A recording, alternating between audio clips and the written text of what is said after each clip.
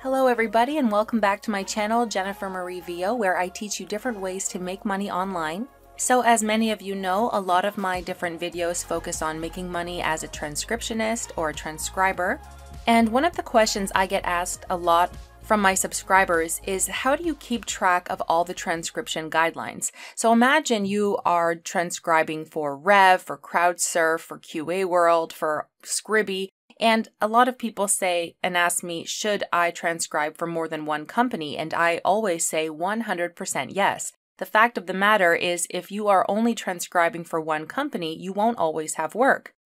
Especially right now with the pandemic, people are online at home trying to find transcription work. So you need to be applying and working for as many of these companies as you can if you want to make any sort of income.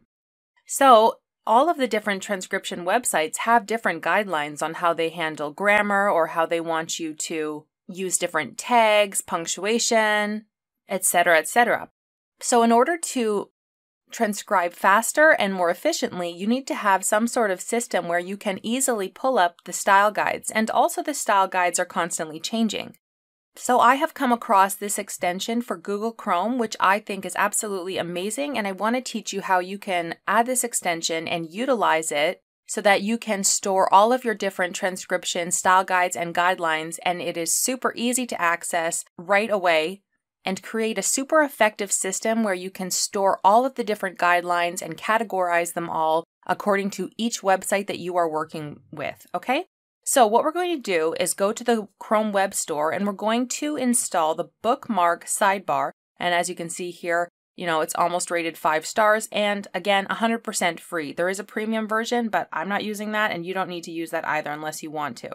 So you're going to go and click add to Chrome. Then you're going to click add extension. Okay, and once you install this extension, you'll see right here this little bookmark icon, and that is the icon for this particular extension. So we're going to click on Setup Now, and this will automatically pop up on your browser. Then you can choose if you want to have your sidebar on the left or the right. I'm going to choose the left, and you can see there's a little preview. You can also choose if you want it to be light or dark. I'm going to choose light. And then you can choose how do you want to open your sidebar. So you can choose whether you want to click to open it up, uh, right click or left click the mouse over or to click on the icon. I want to go to mouse over, which means that every time I, you can try it out yourself, every time I put my mouse over here, the bookmark um, section will just pop up. Okay, now we're going to click on Configure Appearance.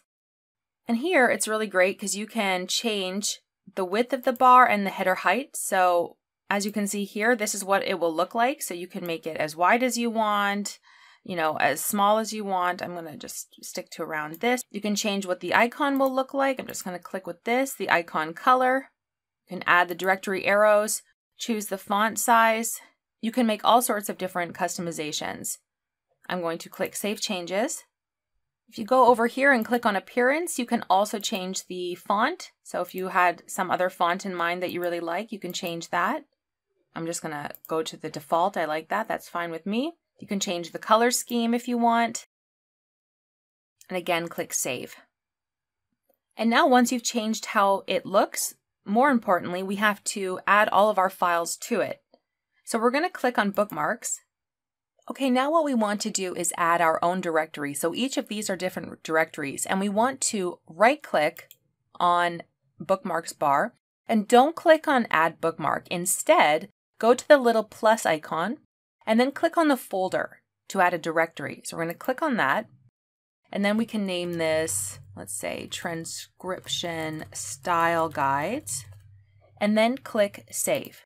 So now we have transcription style guides. Now I want to make a series of different folders underneath this. So I'm going to right click again, again, directory, and this one, I'm going to call it TranscribeMe. Okay. And I'm going to add a different directory for each of them. So I'm going to go again, add directory, let's say rev. Okay, so let's just say I have this directory, transcription style guides, and I have TranscribeMe, rev, QA world, Scribie. Then underneath each of these, I can add my different bookmarks. So I'm going to right click on TranscribeMe, and I'm going to click on add bookmark. And then from here, I've gone ahead and I found the clean verbatim style guide and I found it as this PDF file. So I can go ahead, click on the top here, go to copy, and then I'm going to go ahead and paste it under the URL.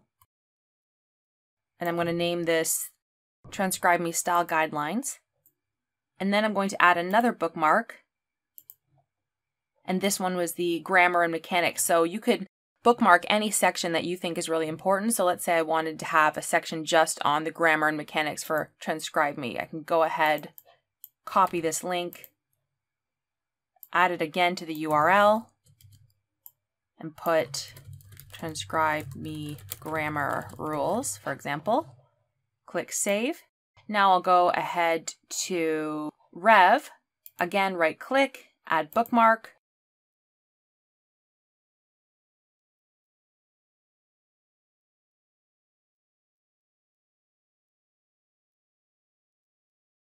Okay, so once you've finished filling in all of your different documents for all of your different style guides in the way that you want, close down Chrome and restart it. Now I'm just going to hover my mouse over, and as you can see, I have this perfectly organized transcription style guidelines. I've got TranscribeMe in its own folder, Rev, QA World, Scribie, and you can just click on this icon right here if you want to add any more directories or a separator or a bookmark.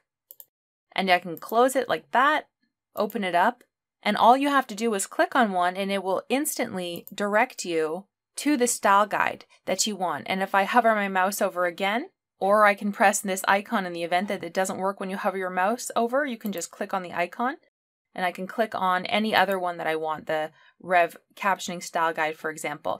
Now this has opened it up in the exact same window, but I don't want that. Let's say I want it to open up in its own separate window.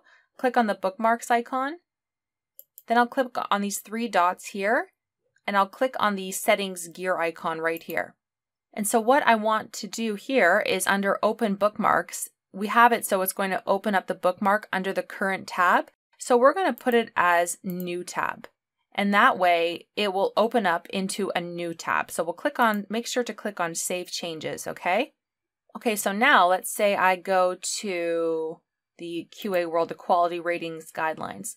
It will just open up in its own tab, okay? So I can go back and I can click on the Scribie style guide and it will open up in its own tab as well. Okay, and all you have to do is just hover your mouse over the side or click on the bookmarks icon to bring it up again. And I find that this is a great way for you to have everything organized, ready for you that you can work under Google Chrome when you're doing all of your captioning. And because these companies often change their guidelines or they update them to new different versions, all you have to do when you want to update the version, so let's say, for example, Rev has created a new guideline or this one here, QA World, all you do is you scroll your mouse over and go to the one you want to change. You'd right click on it and you click on the edit icon right here to edit the bookmark. And then you can just go ahead and put in the new URL that you want. There's also a space here under additional info for all of, um, you know, any extra info you want to add to the new bookmark.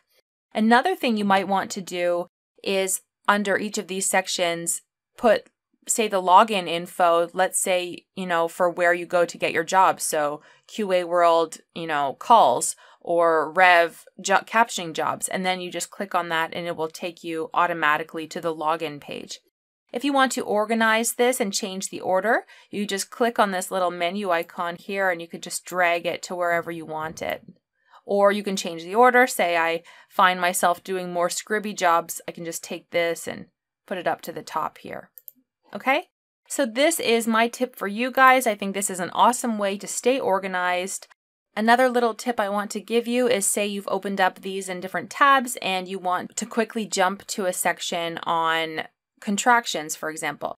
Click Control on your computer plus F to bring up the little search bar, and then you can just type in contractions, for example, and see it will take me, it will highlight here, page 12, or show me all the different instances where they talk about contractions. Okay, so I can just quickly look, ah, okay, you know, with TranscribeMe, they want me to say could have, should have instead of could have, should have. Or if I want to type in tags, okay, and then they'll they'll show me they'll just by pressing enter or clicking on here, I can see all the instances of where they will discuss this. So that's just another little quick tip for how you can quickly jump to finding the information that you want. So this is just my tutorial for you on how to keep yourself organized and how to keep track of all the different guidelines and style guides for all the different companies that you will be transcribing or captioning for. So please, if you enjoyed this video, please click like, it really helps me out, and subscribe to my channel for more videos and tips on transcribing and making money online. I hope everyone is safe and well, and I will see you in my next video.